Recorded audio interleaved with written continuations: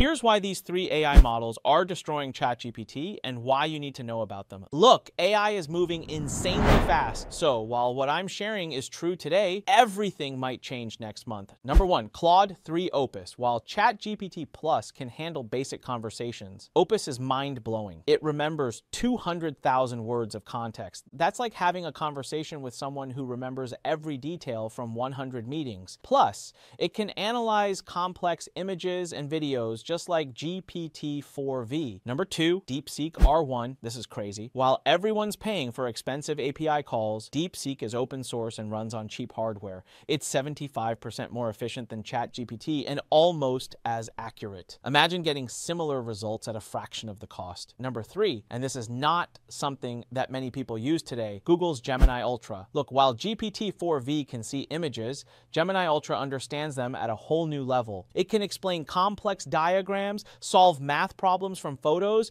and even help doctors analyze medical scans. But here's the wild part. ChatGPT just released their new version that can handle images better than ever. They're also working on something called GPT-5 that might change everything again.